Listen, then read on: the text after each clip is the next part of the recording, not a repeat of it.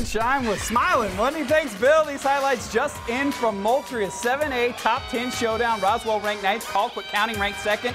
This is why Packers Cameron Woods going to pick off the Roswell pass, and he's into it. Can anybody win down in Moultrie? Later, Jay Ward finds KT Wilson for six.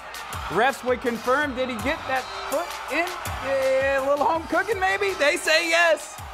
Colquitt County continues to roll 28-0. They beat Roswell tonight. Takai